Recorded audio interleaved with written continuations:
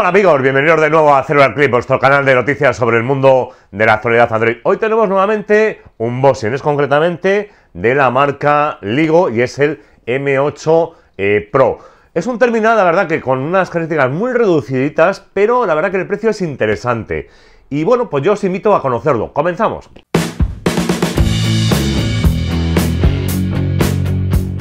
Bueno, pues vamos a proceder al desempaquetado de este Ligo M8 Pro. Como podéis ver, bueno, la primera indicación que nos hace es que tiene una cámara dual.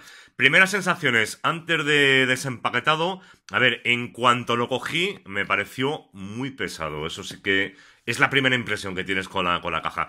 Es una caja grande, bastante grande para un terminal, sí, la verdad, de 5,7 pulgadas de, de pantalla. Y bueno, pues venga, vamos a Vamos a abrirlo y a ver qué nos, nos encontramos dentro. Pues bueno, pues que nos vamos a encontrar. Pues si no me han timado, pues el, móvil. a ver.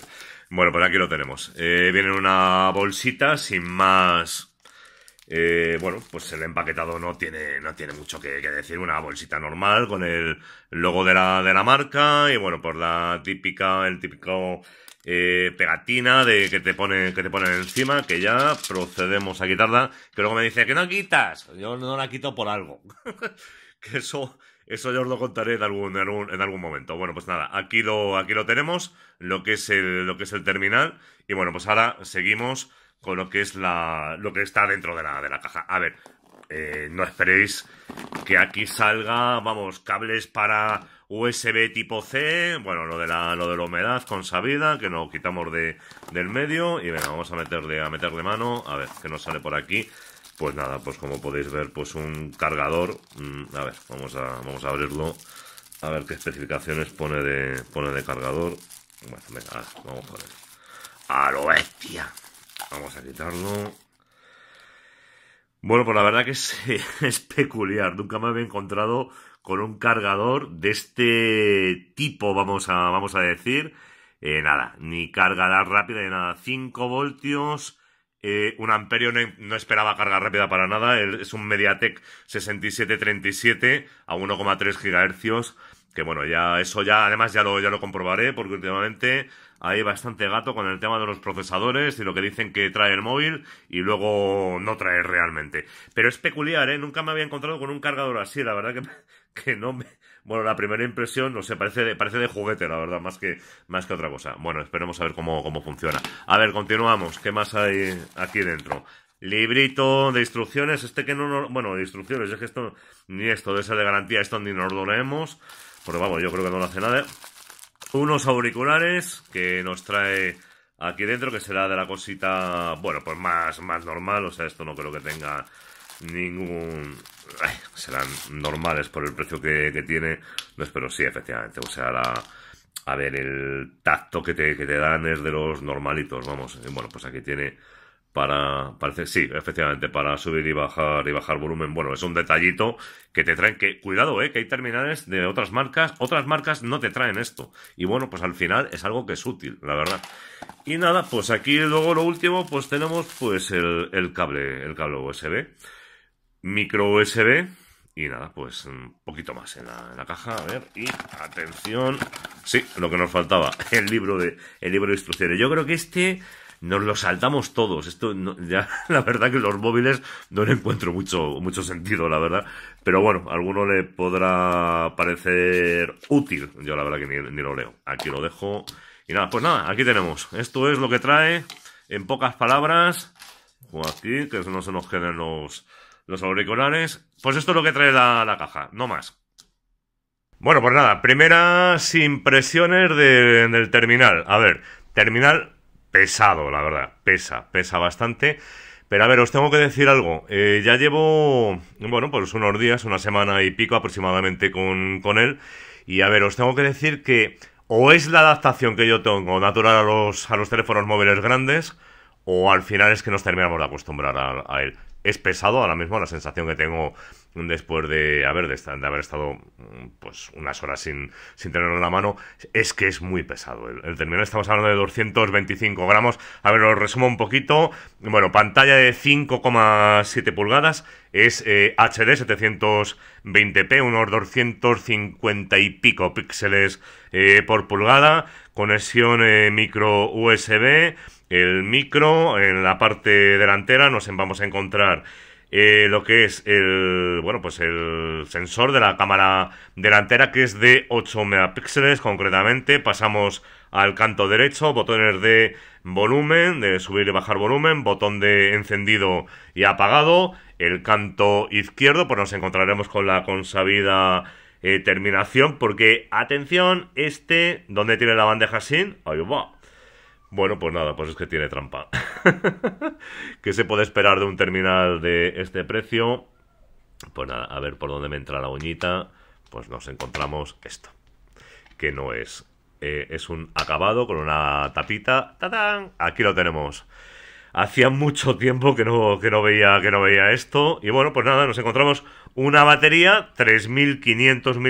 La verdad que, a ver, os tengo que decir, la batería Tarda en cargar, pues yo lo pondré en la, review, tarda bastante, bastante. Con el cargador que, trae de, serie, pues te puede... A ver, te tienes que tomar tu tiempo. Luego, el aguante de la batería es bueno, os lo voy a poner en la conclusión de la, de la review.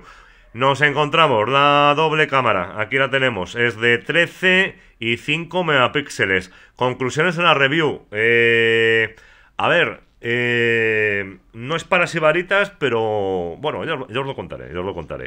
No nos adelantemos. Bueno, y aquí nos encontramos para dos tarjetas eh, eh, y luego pues la micro SD que es concretamente ampliable a 128. Y bueno, por lo tanto, pues nada, pues esto es poquito más lo que hay que hablar eh, sobre él. A ver, sensaciones ah, de tacto, pues buenas, la verdad. Aquí tenéis la, tapita. La tapita, ojo, eh, que está muy bien trabajada. Que la verdad que en cuanto lo vi, en un principio, yo no lo sé, a ver, no me había percatado de, de ello. Eh, bueno, pues me creía que era una construcción, pues, policarbonato o algo por el estilo. Y bueno, pues me encontré que era desmontable. Pues aquí tenemos la tapita, pero muy bien trabajada, eh. Cuidado, que parece aluminio cepillado, la verdad.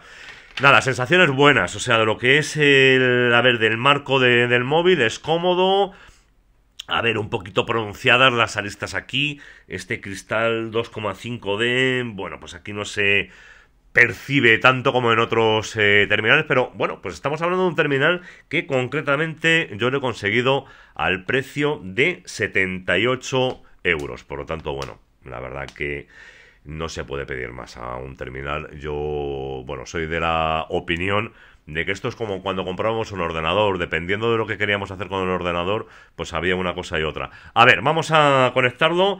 Eh, sensaciones, eh, a ver, mirad cómo se queda la tapita, hay que hacer mucha fuerza para que se vuelva a quedar en su posición. Esto lo he hecho a posta para que lo vieseis en el vídeo. Vamos a hacer encendido y para que veáis el tiempo que tarda en el, en el encendido. Aquí os lo dejo.